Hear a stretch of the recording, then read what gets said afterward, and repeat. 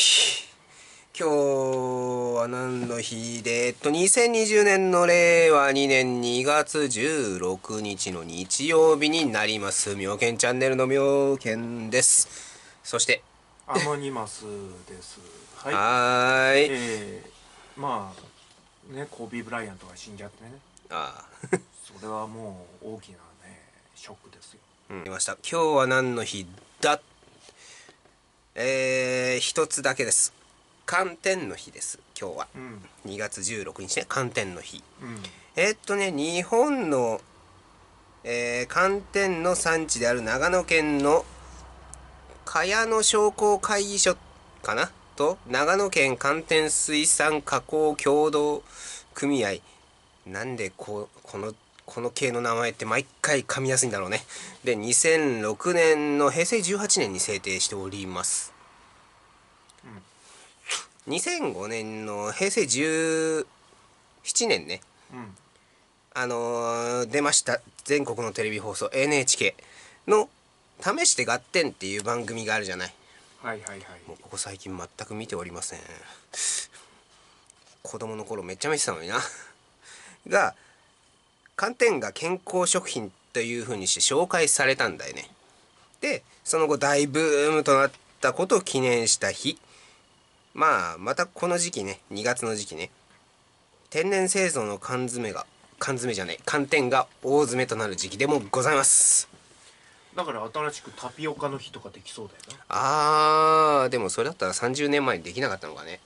やっぱタピオカブームって今2回目だよ2回目だけどさ、うん。あのここまでグローバルにはなってないじゃん。30年前。うちらが知らないだけじゃない？どうそうなのかね。うん。30年前って子供の時だからなんだろうそこまでして飲もうとしなかったんじゃないかなきっと。うん。じゃあ誕生日ぐよ。誕生日。えっ、と有名人からね。はいえっと今の20代前半から半ばの子は絶対知ってます。小田切城。うん。今の10代の子は多分わかんないかもしんないけど「仮面ライダークーガ」っていう平成ライダー一つ目の主役の人。と歌手だったかな？相川七瀬。この2名になります。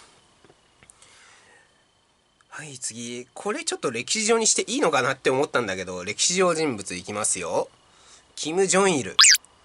ああジョイルね。やっぱりわかるよね。ジョイルさんね。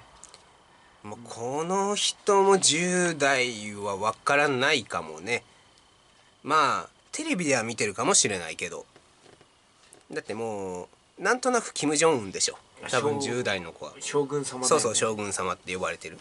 であともう一人。日蓮これはちゃんと歴史上人物だね。あまあそうだね日蓮宗の開祖です。じゃあアニメいくよ。あ歴史この2人だけ。アニメね。アニメ。つく読み調べって言って多分君の頭の上にはハテナが見えるけど戦記絶唱シンフォギアって知ってるかな？あシンフォギア知ってる。あれの2期2期だ。2期で出てきた女の子ですね。でまた私の好きなシリーズ。ハイデマリー・ W・シュナイフシュナウファーっていう人がいるんだけどね。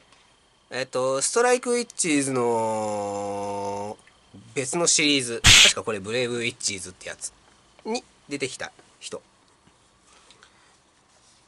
はいそしてもうここでは常連ですね。